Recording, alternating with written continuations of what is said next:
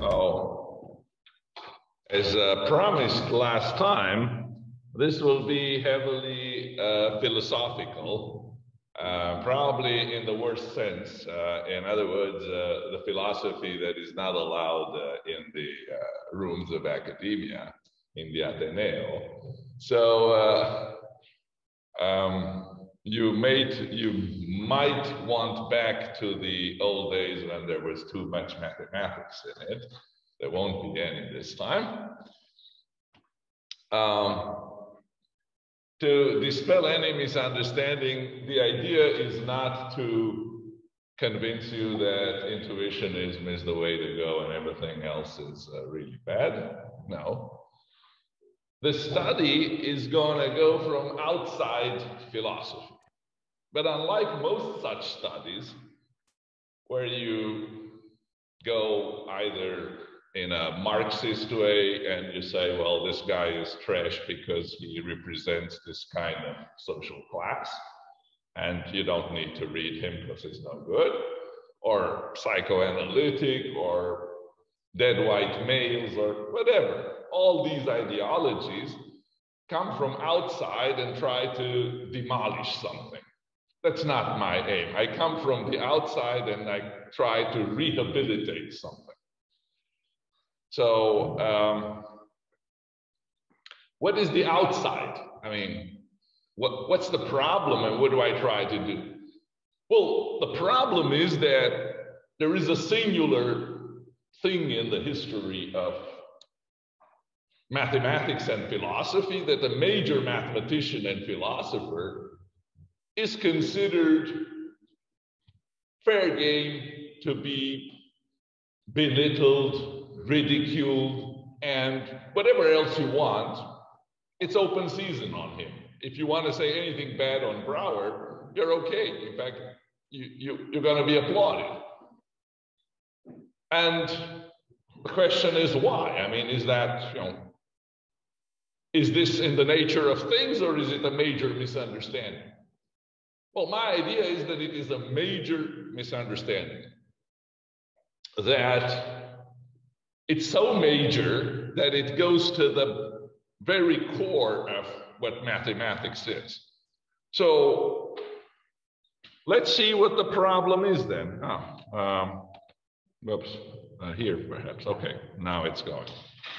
So in the first part, I will give you quotations so you can see that there actually is a problem. In other words, I'm not solving a non-existing problem. So these are going to be quotes about this hostil hostility towards Brouwer's intuitionism. For example, and I here will go with a laundry list of quotations that will show you that, yeah, there is a problem. Here is Charles McCarty, an expert on intuitionistic logic. What does he say? Now we seem to be left with only one alternative, that constructions are themselves phenomenal objects akin to paints and after images. Their intrinsic properties are only those which they seem to have, and these are solipsistic, unshared, unshareable, and on some outlooks, incommunicable. As is well known, Brouwer encouraged just this sort of mathematical solipsism. He declared intuitionistic mathematics to be the record of the fruits of the creative activity of a single individual. Constructions are phenomenal objects which, in the mind of the mathematician, make up a kind of Lego set, pieces of which can be assembled and displayed on the inner visual field. Ultimately, the facts of mathematics are just those which can be put together from this fundamental elements it is clear that we ought not to follow Brouwer. So this is an intuitionistic logician, a philosopher, who says these things. Now, there are several disparaging comments. Solipsistic, that's not a great thing to say about somebody. Yeah. Single individual, yeah. In the mind of Brouwer and all this stuff, right? Okay. Next, Giovanni Sambin, who may be known to the audience, a constructivist mathematician, writes in 2008 at the Cerisy conference for 100 years uh, of intuitionism, we are here to celebrate a master, namely Brouwer. And 100 years from the birth of intuitionism, I believe that the best way to keep Brouwer alive is to try and go beyond Brouwer himself. To go beyond Brouwer means to learn his lesson, but also try to fix his mistakes and to soften in ourselves some hardness in his personality. And in this way, to keep him alive. To confine Brouwer into the prison of what he has materially written would mean to kill him again. Again, we see that, yeah, this guy had a great, some great idea, but just get away from most of he ever said why the idea is any good. The philosopher Carl Posy, who de devotes in 2020 a book on mathematical intuitionism, would write ironically in 1998. First, suppose, as I have argued, that Brouwer's position is primarily mathematical. Why does he encumber it with this boogaboo about language in general and about Hilbert's concentration on formal language in particular. So here he is expressing not his own views, but what people in general, philosophers, feel the irritation is with Brouwer. What does Georg Kreisel say? Well, you might say Georg Kreisel had never anything good to say about anyone, so unless uh, the person was good, so what's the big deal? Well, but let's see what he says in particular I think he liked Brigitte Bardot. Ah, he liked that. Oh, many, many great uh, looking women. Yeah, he showed up usually at parties with uh, all kinds of actresses and things. Yeah, that's true. No, but I'm saying within the story that we're telling. Yeah, you're right. So, Gödel in 1987, he writes, Gödel was utterly bored by Brouwer. Unlike several logicians and mathematicians who, being dry themselves, were buoyed by Brouwer's probably genuine exuberance. Apparently, he, Brouwer, did not like to be interrupted anyway, fittingly for a good solipsist. With little knowledge of the actual biographical facts that led to the pause on Brouwer's publications, which were not available at the time. Kreisel proposes in 69, in kind of an obituary, an entirely implausible explanation if one takes Brouwer's own philosophical rights seriously. Obviously, Kreisel doesn't do that. Be that as it may, it is a fact that Brouwer himself devoted the 10 years after publication of the papers by Heyting and Gödel to nine non-scientific activities, although objectively these papers concerned essential points of his life's work. And although he was only 50 and in good health, it does not seem unreasonable to suppose that he had received an intellectual shock. Okay. Gödel's immensely natural proofs did not need anything like the heavy distinctions which Brouwer thought essential to his development of constructive mathematics, nor incidentally the ingenious constructions that Hilbert had introduced into proof theory.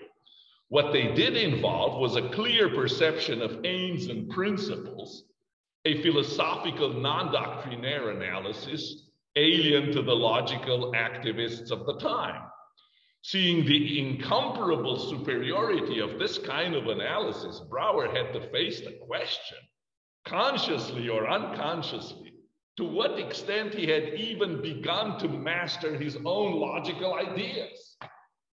So you see what a disaster this thing made. I mean, what bad luck that Brouwer had such great contemporaries, you know. So this is on the side of um, of logicians and philosophers, what they're saying. Now, there is a subtler way to ignore him completely. That's the Michael Dummett way, you know, which is ignore whatever he said and provide a completely disconnected justification for intuitionism. Do historians have to say? They also have something to say because you can't let this guy, you know, have his life. No. Ivor Grattan Guinness, reviewing the first volume of this major biography of Brouwer in two volumes, uh, encompassing something, I don't know, 900 pages, writes in 1999 in the Bulletin of the American Mathematical Society, no less, part of the mystique around Brouwer is caused by the notorious obscurity, one could say incoherence of his philosophy. So this is stuff that you can write and you, you get some applause, you know, you're cool. He says, Arend Heyting became a major protagonist of intuitionism without the supernatural. Wow, you know, you hit one again. Now, Jeremy Gray, reviewing the same biography in Metascience, some you know, journal that you don't really go to, there was a solipsistic streak in him that strengthened his inability to get people on his side that elevated a reasonable but by no means secure philosophical opinion to one of inflexible rectitude that kept him illiberal and unable to see that his allies were increasingly right wing in toxic times, and that made him capable of cruelly selfish behavior. Now, that's even stronger, you know. He just doesn't have just a stupid philosophy, he's an evil person. Now, how illiberal was he? Let's see. How illiberal was Brouwer? Well, in 1935 and in 1939, he was elected to the town council of Blaricum. And what do you think was Blaricum? A stronghold of right wingers? No. It was a ref refuge for artists. That's what Blaricum was. And what was he advocating for on this town council? the preservation of the local heath. Obviously, a specifically right wing thing, right? Uh, better access for workers while keeping out cars. Yeah, that, that's what right wingers do. A race for the local police. Yeah, yeah, yeah. Keep the order. Yeah. Added improvements to a plan for the construction of a cycle path.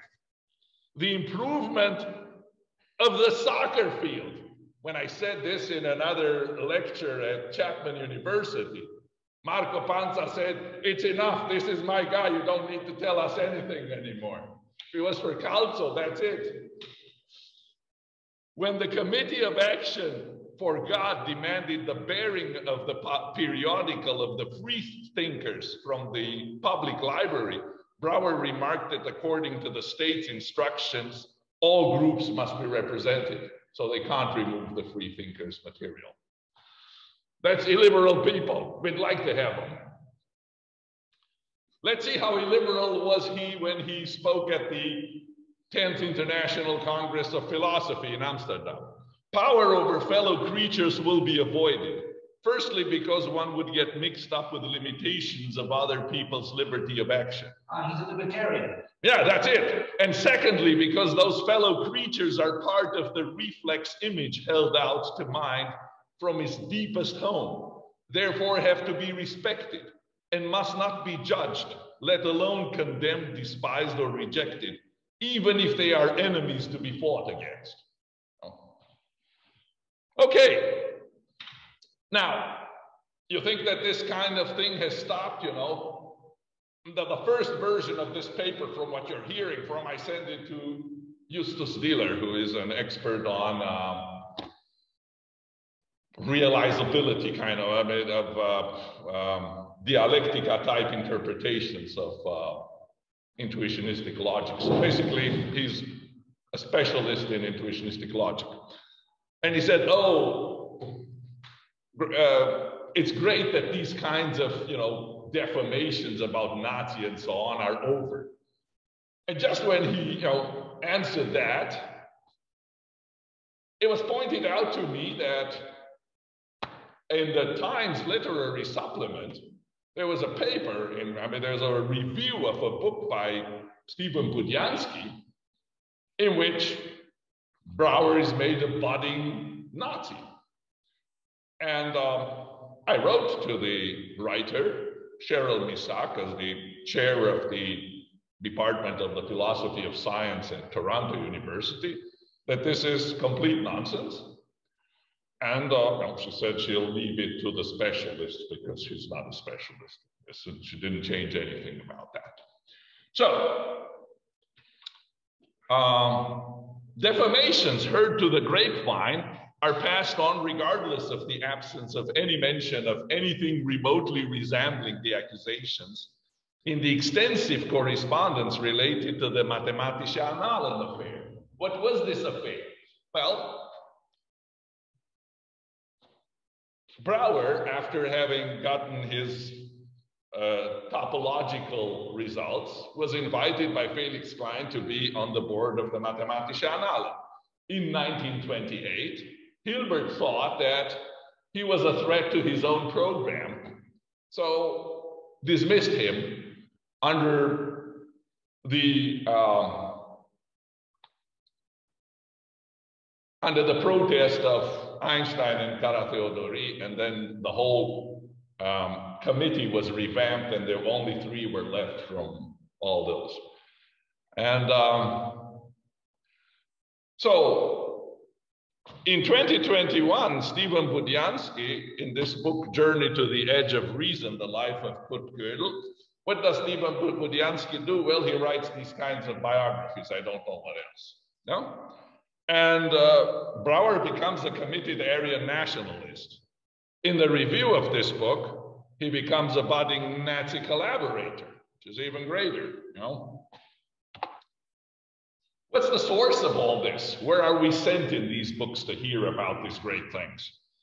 In Abraham Fraenkel's memoirs, in which we read the dispute took on a particular nuance in the sense that the Dutchman Brouwer set himself as a champion of Aryan Germans. Consequently, Hilbert removed him from the editorial board of the Mathematische Annalen after he objected to what he felt were too many Eastern European Jews, Ostjuden authors. This is completely made up. It does, there is no such thing.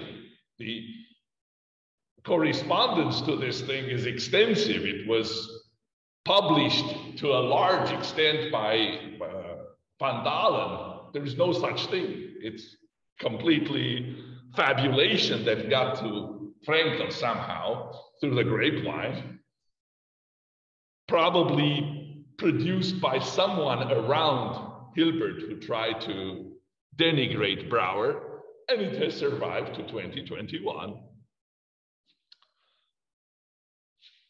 his allies were increasingly right wing, as uh, we're told by, uh, by Jeremy Gray. Well, he never cared about the affiliation of his friends. He had some National Socialist friends like Bieberbach or Theodor Vahlen, but he had communist friends which were even closer, Gerrit Mannoury and Henry Wiessing. What are we going to say now?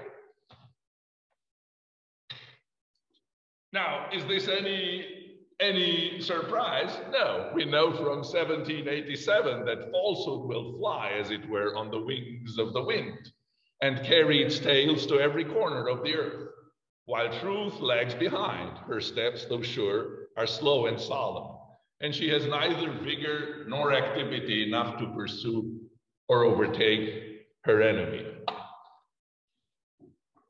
So, so there is a problem for sure that we need to address. And uh, how are we going to solve it? Well,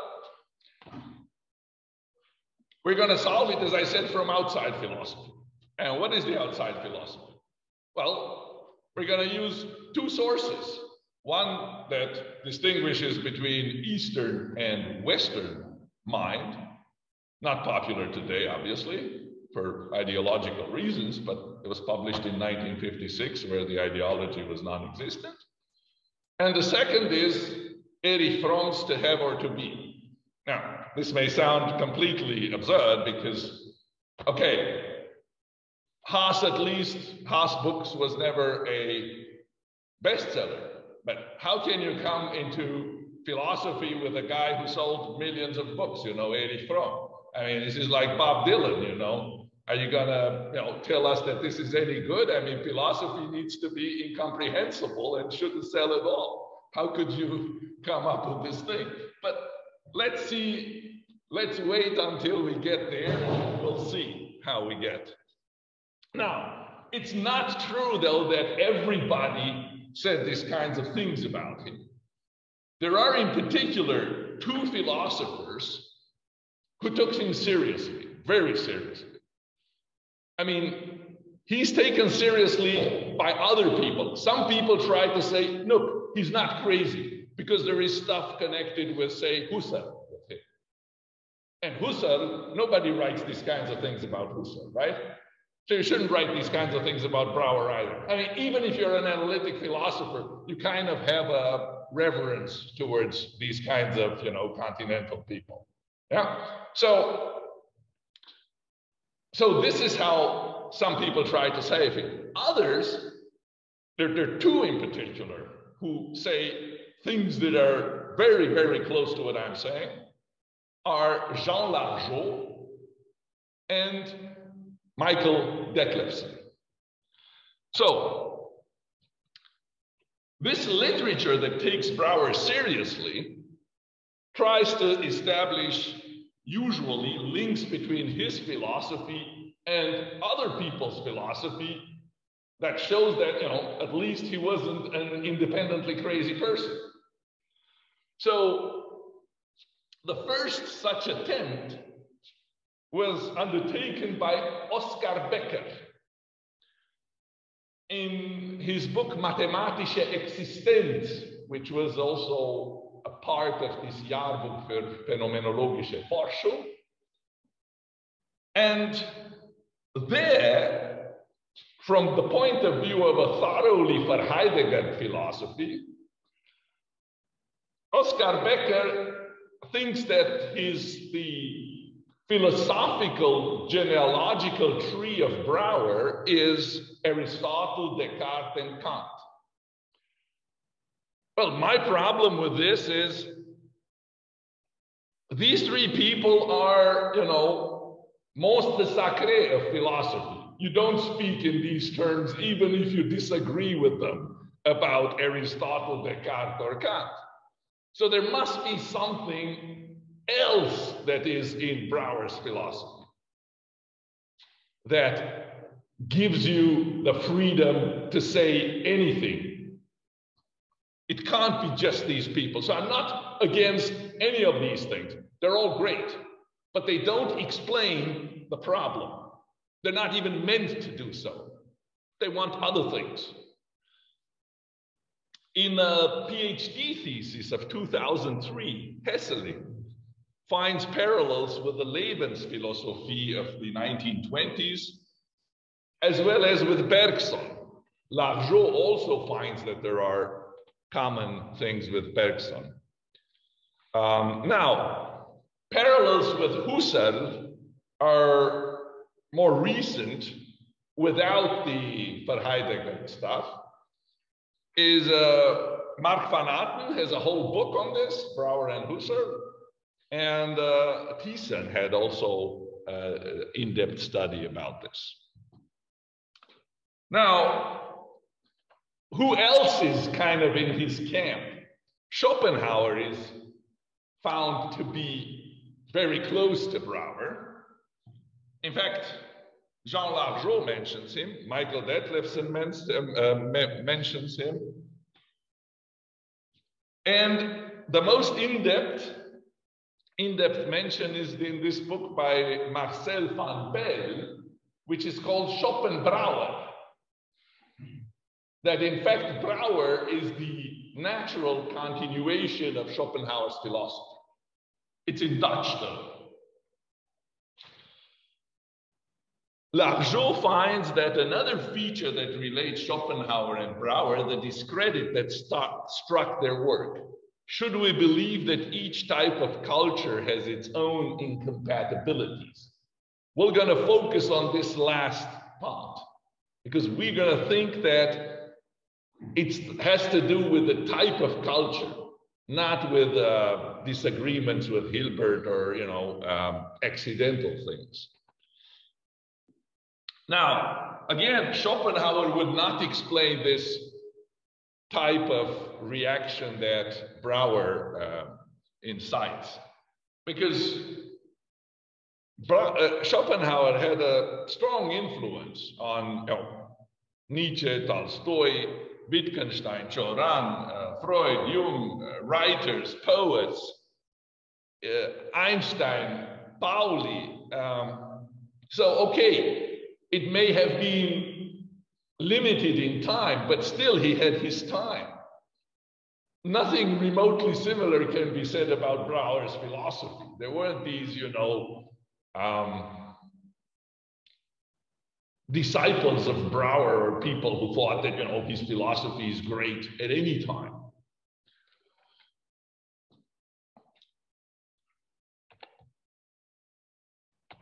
So, as I said, um, these genealogies that tell us that he comes from here and there and that he see, he resembles to the Lebensphilosophie or to Bergson. Well, Bergson had his time again, uh, where he was super famous, where you know people came that had no connection with philosophy to sit in on his lectures. Well, nothing similar happened to Brouwer. So what about Husserl, who's the uh, most uh, insistent uh, comparison recently? Well, Husserl, first of all, was a close friend of Hilbert. And their philosophies of mathematics, despite differences, share a mathematics first, non revisionist approach toward mathematics, as Mirja Hartimo points out. Now, Mark van Atten disagrees with this. He thinks that if Husserl had followed his philosophy, he should not have had a mathematics first approach, and he should have done what Brouwer did if you were a mathematician at the same time. So I'm just mentioning it so you know that this is not Hartimo's uh, opinion is not shared by everyone. So again, there must be some other aspect that differentiates Brouwer from Husserl that is responsible for the irritation that Brouwer causes. Now, would a mediation by Husserl have helped?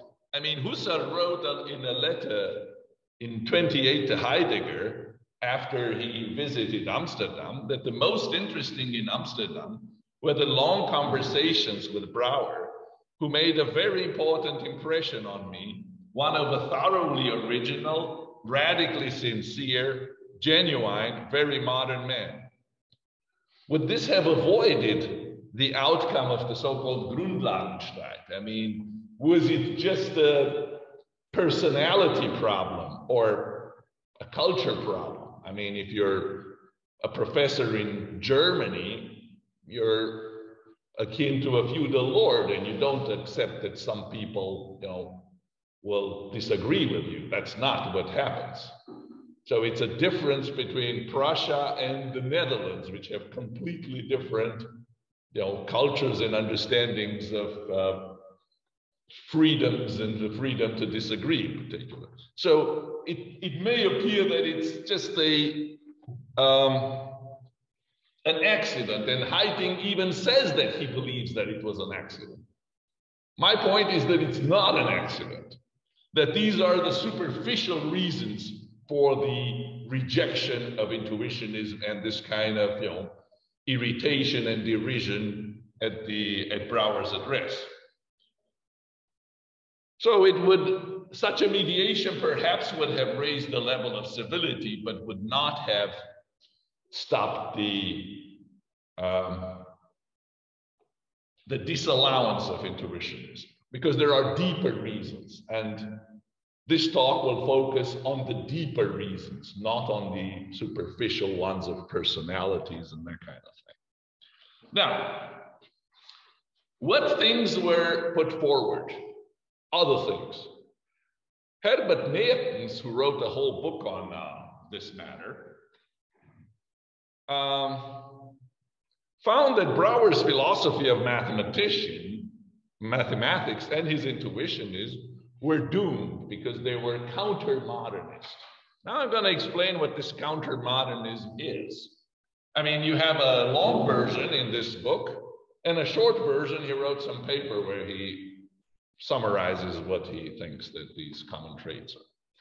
So he says there are two common traits of the various modernisms that I identify as central, and these are the autonomy of cultural production, and second, the departure from the vision of an immediate representation of the world of experience.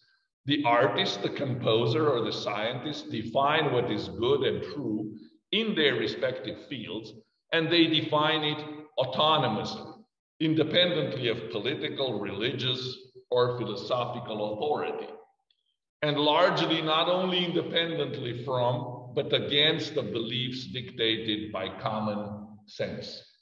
So here he describes modernism as this you know, big movement in um, literature, arts, uh, music, you know, everything. And then there is not the anti-modernist, but the counter-modernist mo movement that is part of modernism. So it arises with modernism. That is why I chose the term counter-modernism instead of anti-modern. It is the counterpart to modernism, insisting on the question whether there is not some natural substance to the truth and meaning of mathematics. The counter-modernist attitude claims that there is such substance, mostly called intuition. Okay? So basically, you're modernist if you say anything goes, and you're counter-modernist if you says, well, there is a human nature and we're connected to some things and it's better to do those things than arbitrary things. Now, does counter-modernism on its own, suppose Brouwer is a counter-modernist, so we don't agree, disagree with this. Would that have condemned him at this status? And here I look at another example of a 100% counter-modernist, Gottlob Frege. Did he do poorly? Well, no, not quite. Frege was not only counter-modern, he failed to even understand what Hilbert was doing as his correspondence with uh, Hilbert on the Grundlagen der Geometrie show. And then his polemic in the pages of the Jahresbericht der Deutschen Mathematikervereinigung. So he, at least Brouwer, understood very well what Hilbert was talking about. He disagreed with it but he didn't misunderstand. Frege had no idea what Hilbert was doing. And did you think that this uh, uh, hampered his uh, posterity? No, not at all. In fact, he's doing fantastically today. There is a Frege industry in philosophy. So being counter-modern doesn't relegate you to the dustbin of history, quite the contrary. Um, why was he counter-modern? Well, he asked for axioms to be true in an absolute way. In other words, don't tell me you just want this to work for your theory. Um, he rejected non-Euclidean geometry. We're talking even in the beginning of the 20th century. Um, he had nationalist and anti-Semitic views well, none of this, uh, you know, matters. So things are, you, you, can do great with all this stuff. So again, even if he was a, even if we allow him the label counter-modern, that doesn't explain why you can say all these things about him. Mehrtens also suggests that there is a correlation between anti-modernism and nationalism. Um,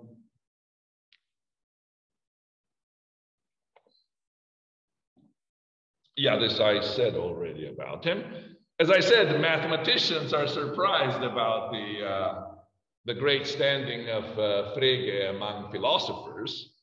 Um, as Hans Freudenthal wrote in 1960, I never understood why he's so highly esteemed today.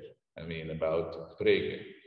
Because a mathematician who reads him and uh, thinks that this guy has no idea what he's talking about. So it's not clear why he's so greatly, um, yeah. Was he a Newcomer? Uh, yes, he was. He used to be Brouwer's assistant in Amsterdam, and they didn't get along well. So when the opportunity came, he took a professorship at Utrecht. Yeah.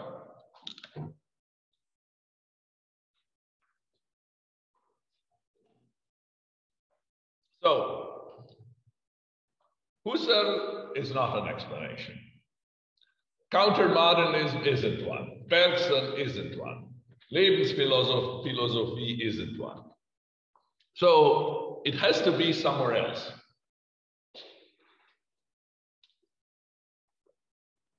And we claim it's not personality either.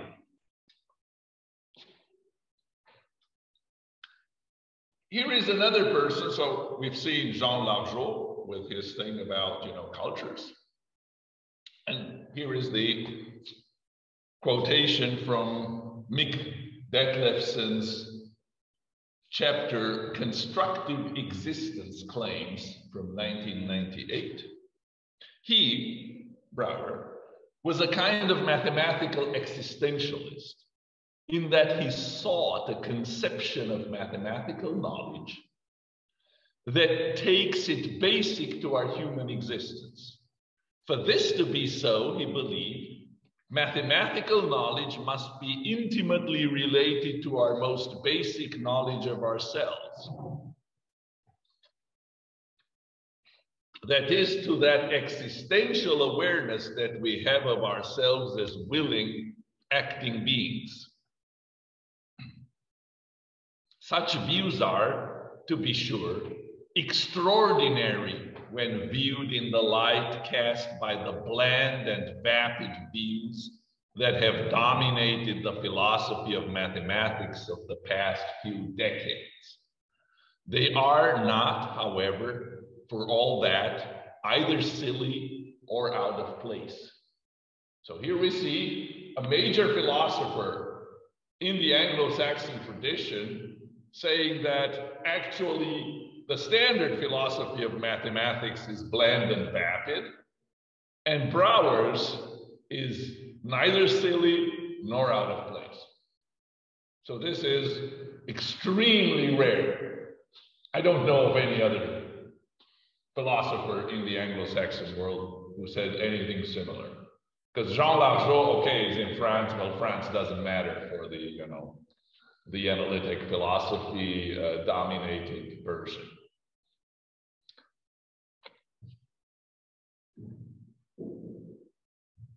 Again, a quote from Jean Largeault's book from 1993, Intuition et Intuitionnisme, in which he writes, does this mean that our mathematics is based on a substance attribute ontology?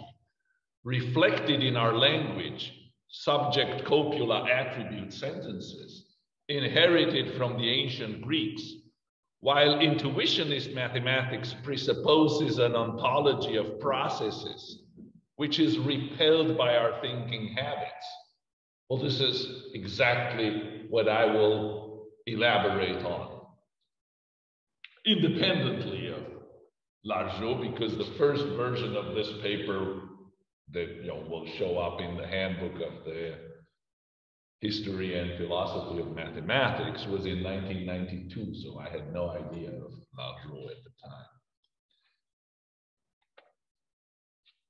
So the two reasons that we will propose in this talk about why this is, is that somebody in central casting, which says oh, who takes what roles, has misplaced Brouwer in Europe rather than in the East, and in mathematics rather than in the humanities.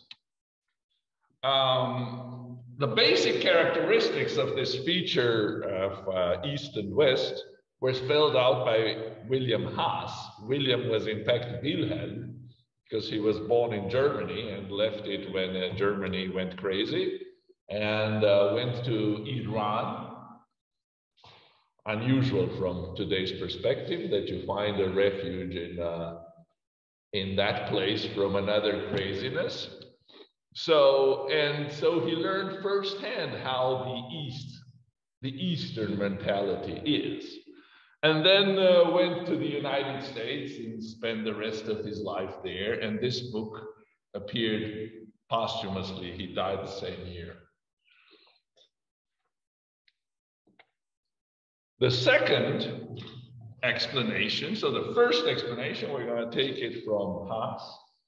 The second is taken from Fromm, who says that there are two modes of existence, and we think that the being mode of existence is responsible for Brouwer's troubles. Um, and his reason for rejecting classical mathematics and formalism is that he sees them tainted with a heavy mode of existence. So these are closely related, though Fromm does not say that being mode of existence is east and the other is west. That's the big difference. Yeah. Fromm allows for, for people in the Western tradition to subscribe to the being mode of existence. I mean, people like, you know, Meister Eckhart or Francesco of Assisi, you know, these are in the being mode of existence and they're in the Western tradition. So or you know, Spinoza or so. So they're not, uh, you know, he's not that uh, east-west. But it's interesting to see both things and to see the reason I use Haas is that mathematics is the crown achievement of the Western approach in philosophy. So when somebody comes with the Eastern approach and tries to destroy this jewel, that's when you get into big trouble. So, given the dominance of Greek philosophy in Western philosophy of mathematics, for as Whitehead noted, the safest general characterization of the European philosophical tradition is that it consists of a series of footnotes to Plato and of the having mode of existence in society a philosophy and a proposal for a reform in mathematics that go against these two pillars was doomed to failure. This is what I see the deep reasons that don't require any of Hilbert's axioms, uh, actions, which were a historical accident for its explanations. So we're, we're going to look at the intrinsic thing of the theory itself rather than this is how Brouwer's personality was, or Hilbert's personality, all this. So my point is that in any best approach, it would have suffered the same fate for reasons that are intrinsic. Now, what does Haas say about East and West? I'm going to take just a few quotations out of this book, The Destiny of the Mind. He says, however, the decisive act which constitutes Eastern mind and civilization, the positing or the fixing of the subject, implies the idea of an existence entirely separated from and independent from the subject cannot be conceived. So this is very strong thing. This sounds like subjective idealism, right? So, what becomes in the Western mind and civilization the autonomous object is paralleled in the East by the other, which is coherent with and held in existence by the subject. In the history of Western philosophy, the importance of mathematical thought on the one hand and the idea of evolution on the other is vividly illustrated by the fact that with few exceptions, the most important philosophers can be grouped as those who were inspired by mathematical thinking and those who follow the line of the idea of evolution. In the mind of the East, the subject holds the predominant place occupied by the object in the West. Reduced to its essence, Eastern knowledge is a form of being, a state of consciousness that is lucid and self sufficient. Western knowledge is a form of having. At the height of his fulfillment, the man of the East stands utterly alone. So, this was all that I had to say from Haas. Now, what do we find in To Have or To Be by Erich Fromm? Optimum knowledge in the being mode is to know more deeply. In the having mode is to have more knowledge. Having refers to things, and things are fixed and describable. Being defer, refers to experience, and human experience is in principle not describable. In contrast, the living human being is not a dead image and cannot be described like a thing. In fact, the living living human being cannot be described at all. Indeed, much can be said about me, about my character, about my total orientation to life. This insightful knowledge can go very far in understanding and describing my own and another's physical structure. But the total me, my whole individuality, my suchness that is as unique as my fingerprints are, can never be fully understood, not even by empathy, for no two human beings are entirely alike. Only in the process of mutual alive relatedness can the other and I overcome the barrier of separateness, in as, in as much as we both participate in the dance of life. Yet our full identification of each other can never be achieved. Language is an important factor in fortifying the having orientation. The name of a person, and we all have names, creates the illusion that he or she is a final immortal being. The person and the name become equivalent. The name demonstrates that the person is a lasting, indestructible substance and not a process. Common nouns have the same function, i.e., love, pride, hate, joy, give the appearance of fixed substances. But such nouns have no reality and only obscure the insight that we're dealing with processes going on in a human being. But even nouns that are names of things, such as table or lamp, are misleading. The words indicate that we are speaking of fixed substances, although things are nothing but a process of energy that causes certain sensations in our bodily system. If myself is constituted by what I have, then I am immortal if the things I have are indestructible. So that's it with the um, sources of my explanation. Let's see what Brouwer has to say. This is in his uh, synopsis of intuitionism in uh, the South African Journal of Science of 1952 or so. The first act of intuition is completely separates mathematics from mathematical language in particular from the phenomena of language which are described by theoretical logic, and recognizes that intuitionist mathematics is an essentially languageless activity of the mind, having its origin in the perception of a move of time, i.e., of the falling apart of a life moment into two distinct things, one of which gives way to the other but is retained by memory. If the twoity thus born is divested of all quality, there remains the empty form of the common substratum of all twoities. It is this common substratum, this empty form, which is the basic intuition of mathematics. So we see that already trouble appears from the essential languageless activity. Once mathematics is that, you're already in big trouble. Um, but is he really alone and crazy in this, even in the world of mathematics? Obviously, in the world of non-mathematics, it's okay to say that things are languages. I mean, you know, mystics always say that you can't, uh, you know, communicate your experience. So it's no big deal. I mean, if you were in, you know, in the humanities, it wouldn't be a problem. Um, but other other mathematicians, like you know, serious ones about which you don't say things that you say about Brouwer, you know. René Thom, which was a fields medalist, let's see what he has to say. The world of ideas infinitely exceeds our technical possibilities. Notre modalité d'expression is the original. It is in the intuition that the ultima ratio of our faith in the truth of a theorem resides. And according to a now forgotten etymology, a theorem is above all the object of a vision. Theorie to see. So, a summary of Brouwer's views on language. Language originates in will transmission, in commands given to others, and thus of questionable morality. And its original aim is to break the will of others, making others obey.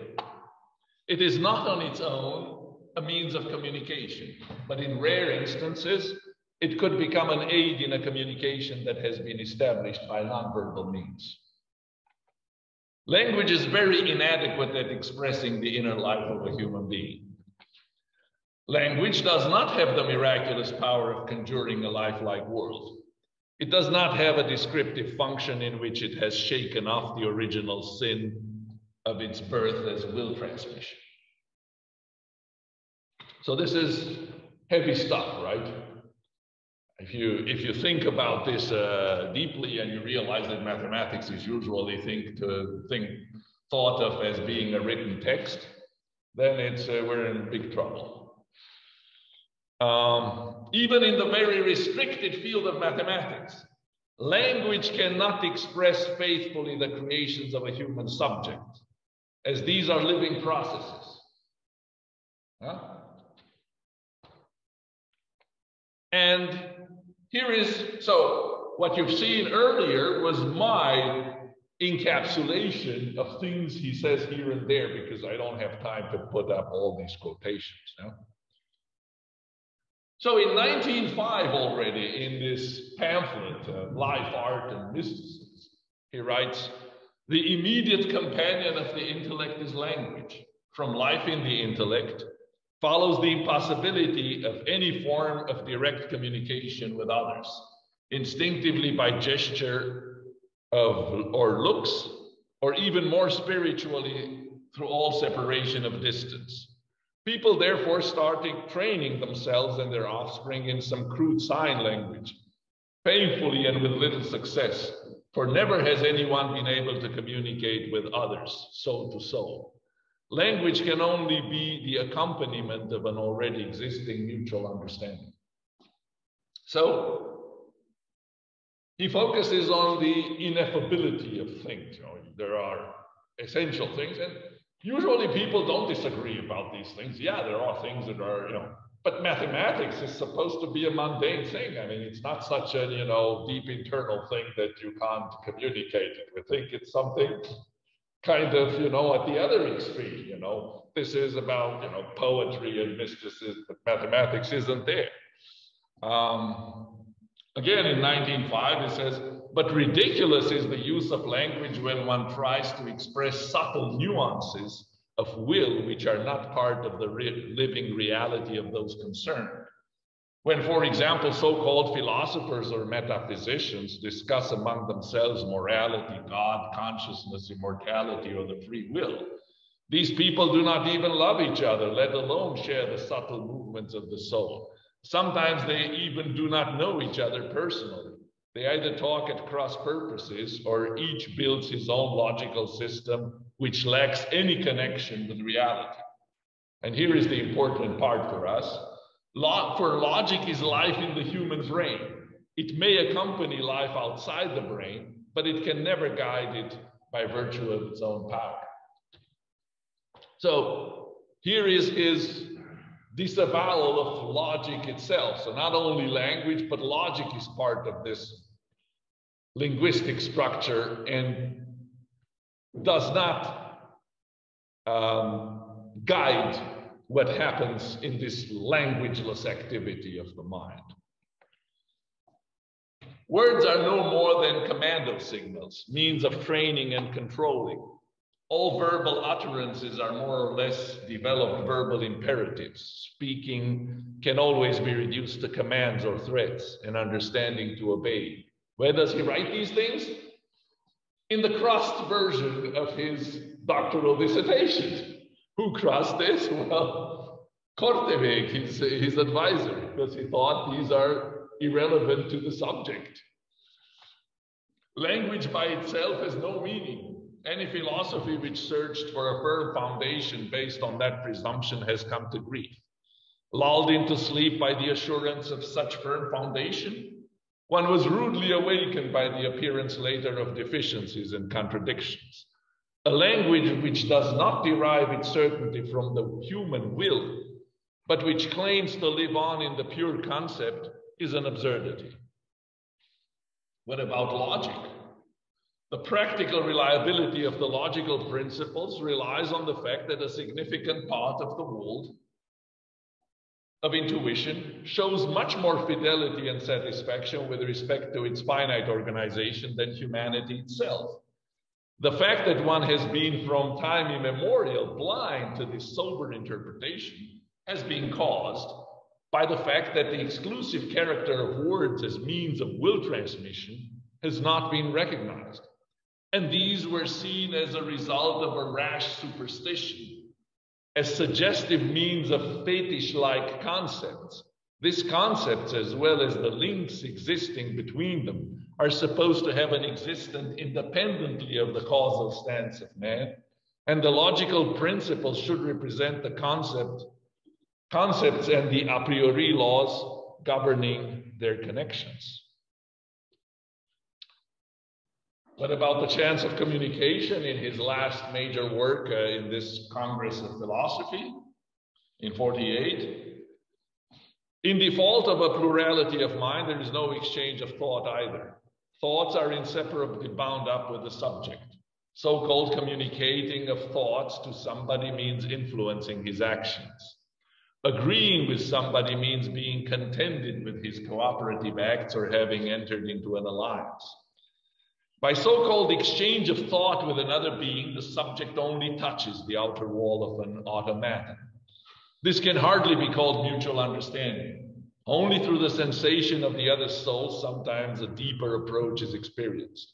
And when wisdom revealed by the beauty of this sensation find expression in the antiphony of words exchange, then there may be mutual understanding. Now, let's see radically different views on language. So he, here we've seen what Brouwer has to say about this. Now, let, let's see where the trouble originates from. And here I'm going to choose two philosophers that are very much in the Western tradition, Nicolai Hartmann and Karl Popper. What do they think about uh, you know, language? Well, Hartmann assigns to the spiritual, das Geistige, its own stratum in the composition of the world one which cannot be reduced to subjective consciousness. Subjective is only the carrying out of the act of thinking. The content of the thought itself is the spiritual content that is detachable from the subject and transferable, a fact without which communication between humans would not be possible. What does Popper have to say? Well, Popper distinguishes between his famous three worlds um, where first is the world of physical objects or physical states. Secondly, the world of states of consciousness or of mental states. Um, or perhaps the behavioral dispositions to act. And thirdly, the world of objective contents of thought, especially of scientific and poetic thoughts and works of art. Popper finds that this third world has more in common still with Bolzano's theory of a universe of proposition in themselves and truth in themselves, and resembles more closely the universe of Frege's objective contents of thought. He argues for the independent existence of the third world. Theories or propositions or statements are the most important third world linguistic entities. The activity of understanding consists essentially in operating with third world objects. Now, What does the East think about this great theory? Well, the Buddha says clearly that there is no such separation. Feeling, perception, and consciousness, friend, these states are conjoined and not disjoined. And it is impossible to separate each of these states from the other to describe the difference between them. For what one feels, that one perceives, and what one perceives, that one cognizes. Wisdom and consciousness, friend, these are states conjoined, not disjoint. and it is impossible to separate each of these states from the other to describe the difference between them. For what one wisely understands, that one cognizes, uh, and what one cognizes, that one wisely understands. As pointed out by David Kalupahana, language as understood by the Buddha does not work on its own in the absence of what Brouwer calls an already existing mutual understanding. Language cannot be a means of communication unless the language users agree upon the various elements of a language as being expressive of their experiences. Thus, agreement or concurrence, whether it be by a small group or of the world at large, is an important characteristic of, a lang of language. The use of the term sammuti, which implies agreement in the sense of thinking together, makes language not merely a behavioral phenomenon, but a psychological one as well. The propositions in themselves, the truth in themselves, the objective content of thought, and in general, third world objects, claim a svabhava existence. Svabhava is something that is a term in Buddhism just meant to tell you that such a thing cannot exist. Svabhava means it exists of, out of itself. The whole thing of the Buddha, if you can encapsulate it to one thing, is dependent arising. The fact that nothing exists on its own and of its own. Everything depends on something else. So the objective contents of thought, the proposition, all this stuff is in direct contradiction with dependent arising. It claims that there are things that live on its own, that there is this world that lives in itself. And uh, whether it is, you know, the Buddha himself or uh, later Mahayana Buddhists, everyone agrees that there is no such thing in Buddhism. So, um, self nature or own being cannot exist. So, svabhava is by definition the subject of contradictory ascriptions. If it exists, it must belong to an existing entity, which means that it must be conditioned, dependent on other entities, and possessed of causes. But a svabhava is by definition unconditioned, not depending of other entities, and not caused. Thus, the existence of a svabhava is impossible. So the, the, this idea that I can detach my thoughts and put them somewhere, or that they were somewhere even before they descended into my mind, this is total nonsense for the Buddha. Um, what is the view from general semantics of Al Alfred Korzybski? He is the, uh, there are several followers of his that use E prime. Have you heard about E prime? It's English without the verb to be. And there are people who can write this way or who can even speak this way. Why? Because is should never be used because it's confusing. There is no is. Is is you try to equate two things and it's very bad. You shouldn't do it. That's the, the stuff here. So words are not the things they represent. It follows that the objective levels, which include the events, ordinary object, objective actions, processes, immediate feelings, instincts, ideas, represent unspeakable levels, are not words. Yeah? So is in particular should never be used because there is no equality of things. This is that is always wrong. What does Krishnamurti say? Understanding is not verbal, nor is there such a thing as intellectual understanding. Intellectual understanding is only on the verbal level, and so no understanding at all. Understanding does not come as a result of thought, for thought, after all, is verbal. By the way, uh, in his late age, uh, Brouwer visited some of the uh, talks of Krishnamurti and said, Well, this is the baby room of philosophy. Can we say the word is not the thing? Whatever the description, it is not the real, not the truth, however much you embellish or diminish it. Naming only strengthens and gives continuity to the experiencer, to the desire for permanency, to the characteristic of particularizing memory. There must be silent awareness of naming, and so the understanding of it. We name not only to communicate, but also to give continuity and substance to an experience, to revive it and to repeat its sensations. This naming process must cease, not only on the superficial levels of the mind, but throughout its entire structure. This is an arduous task, not to be easily understood or lightly experienced. For our whole consciousness is a process of naming, or terming experience and then storing or recording it. It is in this process, it is this process that gives nourishment and strength to the illusory identity, the experiencer as distinct and separate from the experience. Without thoughts, there is no thinker.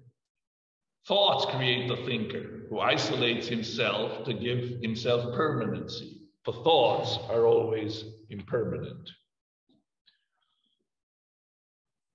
We can find a, a confirmation of uh, this Brouwerian view from Albert Schweitzer, which is no big deal because you won't find any book on ethics written in the analytical tradition in which his name is even mentioned. None of us can claim that we really know another person, even if we have lived together with that person every day for years. Of what makes up our inner experience, we cannot communicate even to our closest others more than fragments. We can neither give the entirety of that experience nor could the others grasp it. We walk in a half darkness in which neither can recognize the other's features accurately. Only from time to time, through an experience we had with our companion, or through a word that falls between us, does the other stand next to us for a moment as if illuminated by a lightning bolt. That's when we see him as he is. Afterwards, we'll go again, perhaps for a long time, side by side in the dark and try in vain to imagine the other's features. Now, what do Maturana and Varela say in, in their book Autopoiesis? Does this uh, seem to be a great uh, defense of Brouwer? Not necessarily, because Varela was uh, a student of Chogyam Trungpa, a Tibetan Buddhist who established a crazy um, organization in the state of Colorado. And he was, uh, Varela was also the founder of a, of a group of the dialogue of the sciences and Buddhism. So he was also a friend of the Dalai Lama. So he's tinted with the Eastern approach. But let's see what they have to say. Humberto Maturana and Varela. So long as language is considered to be denotative, it will be I, I don't mind it at all. Yeah. Uh, so long as language is considered to be denotative, it will be necessary to look at it as a means for the transmission of information, as if something were transmitted from organism to organism in a manner such that the domain of uncertainties of the receiver should be reduced according to the specifications of the sender. However, when it is recognized that language is connotative and not denotative, and that its function is to orient the orientee within his cognitive domain without regard for the cognitive domain of the orienter, it becomes apparent that there is no transmission of information through language. Boom. So serious people, so-called, uh, agree with Brouwer. You know? um, it behooves the orientee as a result of an in, independent internal operation upon his own state to choose where to orient his cognitive domain. The choice is called by the message, but the orientation thus produced is independent of what the message represents for the orienter. In a strict sense, then, there is no transfer of thought from the speaker to his interlocutor. The listener creates information by reducing his uncertainty through his interactions in his cognitive domain. Consensus arises only through cooperative interactions in which the resulting behavior of each organism becomes subservient to the maintenance of both. Henri Poincaré in 1913 says something similar. People do not understand each other because they do not speak the same language and because there are languages that cannot be learned. So you see, this crazy guy is not so crazy after all. If you put him in the right, um, you know, room, he speaks the language of these people. That's what I want to show, that there is no craziness. It's just crazy if you come in mathematics with this. You know, I mean, yeah, Poincaré was also in mathematics, but in general, there, there are so many people that think the same way. You just went to the wrong, um, you know, faculty, you know. Now, what's the root of the misunderstanding of this solipsism accusation? The philosophers, what they're doing is they take all Brouwer's uh, utterances literally and absolutely.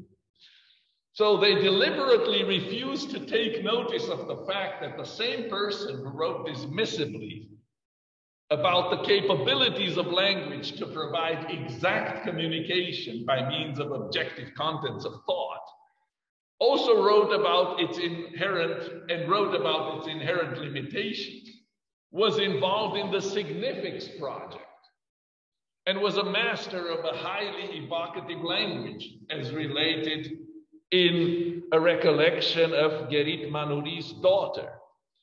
She described Brouwer's conversation as an almost artistic process. Brower could, in the middle of a sentence, pause to savor a particular expression and to replace it after consideration by a more suitable one.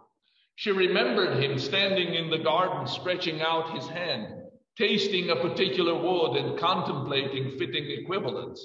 The result was not a faltering flow of words.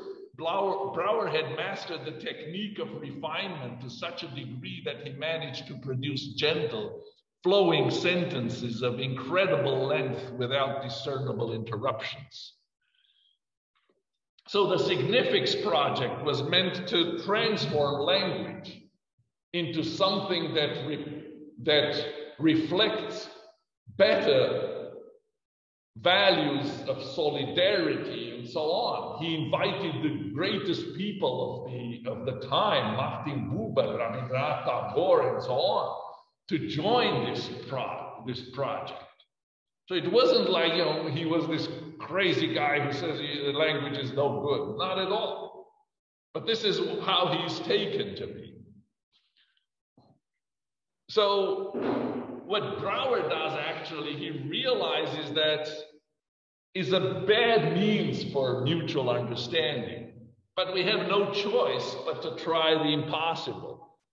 So, as Verena Huber-Dyson would put it, formalization and poetry are the two most direct means we have of externalizing our thoughts. The unusual thing is that Brouwer chose poetry rather than formalization. Why? Because it has no pretension of conveying anything exactly and opts for hinting a state of mind, a feeling, or an atmosphere. And this he found as, his, as a student at the University of Amsterdam, listening to Gerrit Mannoury, more helpful than the precision of strings of symbols. Um, he finds that the nature of language turns us into Sisyphean absurd heroes, much like characters of Kafka's world as seen by Albert Camus. Kafka's world is in truth an indescribable universe in which man allows himself the tormenting luxury of fishing in a bathtub, knowing that nothing will come of it. So, yes, we are thrown upon language for communication, but we should be aware that there is no communication. And this is what Brouwer says. Now, this kind of a thing which is usually thrown onto Brouwer is that, you know, this is subjective idealism. My point is that it's all Eastern. Well, is subjective idealism Eastern or not? Well, it is. In 1946, in um, a book published in Paris, Ah, les origines de l'idéalisme subjectif, euh, l'inscription du roi Shabaka, Aram Frenkian notices that there is not a hint of subjective idealism in any Greek philosophical work that precedes the contact of the East brought about by Alexander. He detected the first text suggestive of subjective idealism in the Memphite theology. So, this inscription that is in the British Museum, which dates from the 25th dynasty of Egypt, where we are told that great and important is Ptah, who gave life to all the gods and their cause as well, through his heart and his tongue. Similar utter utterances can be found in earlier Egyptian texts, such as the coffin text, the late 18th and early 19th dynasties. We have independent confirmation of this, of this being what? The Egyptian origin of subjective idealism from Allen, who's uh, James Allen is a uh, an uh, Egyptologist who wrote a, a book on this. Um, and who says exactly this that the origin of subjective idealism is there without even quoting Frankiano, with it probably being unaware Um, we have another case of subjective idealism in uh, certain mind school only, uh, mind only schools of Mahayana Buddhism, such as the Lankavatara Sutra, where um, this uh, the most extreme version we find it in uh, Nagarjuna, who says that the material world in the final analysis cannot exist. Now, what about the single intuition of time that we find? So, okay, we looked at language. What about the single intuition of time? Um, this is Brouwer's middle way between nominalism and Platonism. So, um,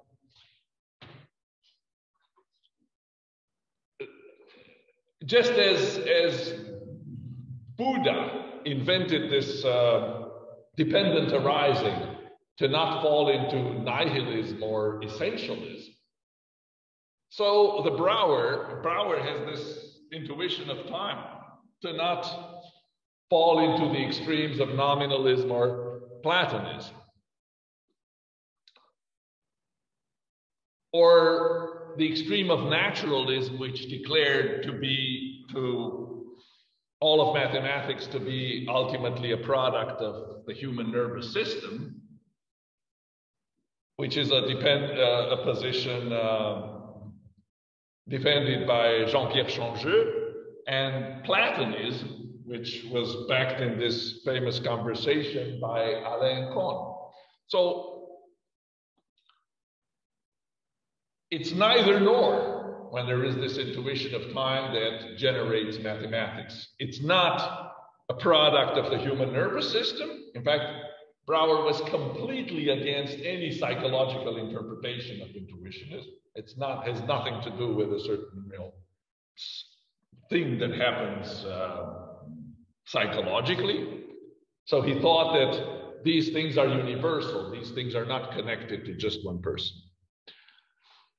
Um, and Brouwer is very keen on denying mathematics this kind of outer self-existence. Yeah, so there is no svabhava in, in Brouwer. Mathematics comes and dies with a human being. Yeah, so it is dependently originated. It's originated in this intuition of time, and that's it. It exists independent, just like dependent arising. Now, how was this intrusion of dependent arising on the altar of Western philosophy taken? Well, let's see what two Western philosophers, Nicolai Hartmann and Felix Kaufmann, have to say about this. When you read these kinds of things, it's as if they read Haas's book, internalized what it says, and produced the expected answers. Here is Nicolai Hartmann. Intuition is from the starter mode of cognition, i.e., the grasping, a grasping, a transcendental, a, a transcendent act. In that, it differs essentially from the setting, and it is just the theory that misjudges that. The truth of intuition is that it is not a giving act, but a receiving receptive act and that the giving authority behind it ought to be searched for at the object. It is the one who determines the intuition to the extent that it presents itself to it. And that happens as, a, as an object that is indifferent to the very act of intuition.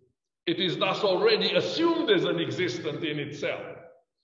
In case such an object were not to present itself, in case no existent were available that would have its particular suchness already as its own, then the act itself would not be a seeing apprehension either. So exactly like Haas tells us, in the West, it's the object, in the East, it's the subject. So Hartmann cannot understand how the subject can create something if the object doesn't exist. So he has no understanding of dependent arising. Felix Kaufmann says the same thing. For Brouwer's view that mathematical facts change with mathematical knowledge implies that there is something cognizable that is created only by being cognized, which runs counter to the nature of cognition. For all cognition presupposes an object that must be thought of as existing independently of its being cognized. Now, in physics, this is not as outlandish. I mean, physicists were forced to accept the observer in the story. It's not because they are so much more enamored by the Eastern thought, but because they had to. Experiments forced them. Here is what David Bohm has to say. Now, David Bohm obviously is on the wrong side because we know that he's super controversial.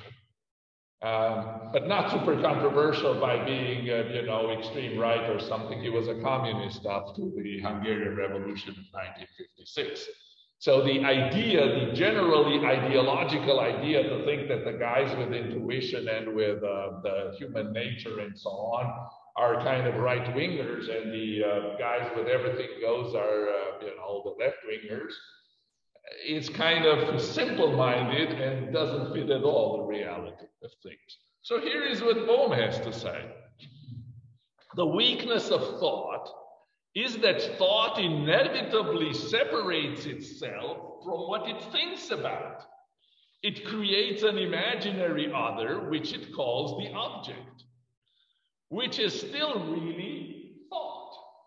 Let's say I'm thinking about the image of a tree. Now, that which I'm thinking about seems to be separated from me. It seems the image is over there somewhere, and I'm here. Therefore, it seems that I have created two images. One is the tree, and the other is me. Sounds very much like what, what Brouwer is saying. Jean Largeault, again, he says intuitionism had something aristocratic about it, which is connected with the exceptional nature of intuition. Despite this fact, intuition, pure and disinterested knowledge that it is, is universal rather than individual, which refutes the legend of solipsism which has been attributed to the Dutch geometer. Brouwer's uh, meant here. So, exactly like Brouwer would say, this is nothing that has to do with psychology. This is universal. What does Goethe say about this? The question is if you say that mathematics originates in intuition, then everybody would say, oh, but I have your intuition, you have yours. Then we have created anarchy inside mathematics because nobody knows anymore what we're talking about because it's everything is specific to myself. Well, as as Largeault says, that's not true. It's not specific to yourself. The thing that happens in yourself is universal. It's not specific. And this is what Goethe says in one of his maxims in Maximen und Reflexionen, which appeared posthumously in 1833. In case I know my relation to myself and to the outside world, I call it truth. And in that way, everyone can have their own truth. And it, never, it is nevertheless always the same. Again, the wrong kind of person who comes to the defense of Brouwer, right? You wouldn't throw Goethe in a discussion of the philosophy of mathematics. Know? But all I'm saying is this is not crazy. Pe people who are respectable people are saying this. Um, what happens now? Okay, we have this first act of intuitionism, and then there is the second act by which you create the intuitionistic continuum. So, how does it work? Well, you create this choice sequences, which, you know, up to a place they're determined, and from there on, you don't know what happens to them. They're open to the future. So, they are not objects uh, in the sense of, in this sense of I can put my hand on it. They're, they incorporate becoming in themselves. So Brouwer also found the need to introduce a new language for this. He avoids, for example, the word set. So there are marked uh, similarities with the Buddha. The Buddha needed a language that avoided substantialist and nihilist implications. This was the language of becoming that more accurately reflected his experience of change and continuity. It is the language of dependent arising that steered clear of the extremes of permanent existence and nihilistic non existence. Thus, the Buddha can be credited with a revolution in linguistic philosophy when he consistently utilized the language of becoming to take the venom off the language of existence. Jean Largeault again. Does this mean that our mathematics is based on a substance attribute ontology reflected in our language? The fact, the same thing that I said earlier. Uh, inherited from the ancient Greeks, where here we have an ontology of processes. Let's see a discussion of Einstein and Rabindranath Tagore that took place in, um, in a villa outside Berlin in um, the uh, late 20s. There are two different, Einstein says there are two different conceptions about the nature of the universe. The world as a unity dependent on humanity, the world as a reality independent of the human factor. Tagore says, well, when our universe is in harmony with man, the eternal, we know it as truth, we feel it as beauty. This is a purely human conception of the universe. Truth then or beauty is not dependent of man? No. if there would be no human beings anymore, the Apollo of Belvedere would not be beautiful, would no longer be beautiful? No. I agree with regard to this conception of beauty, but not with regard to truth. Why not? Truth is realized through men. I cannot prove that my conception is right, but that is my religion.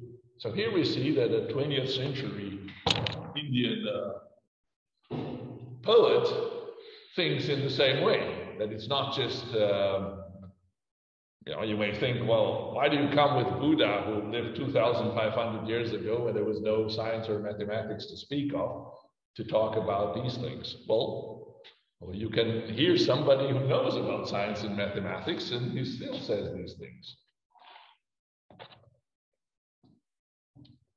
Now, you would ask yourself, well, why did I defend this guy? You know, after all, I'm a formalist, right? And my thing comes from, you know, Pieri, uh, Hilbert, and so on. So shouldn't I uh, defend my tribe and, you know, uh, be against this evil person? You know? Um, but I think that that would be kind of pathetic because, uh, as Albert Schweitzer said, we're in truth when we experience conflicts increasingly deeper. The good conscience is an invention of the dead. And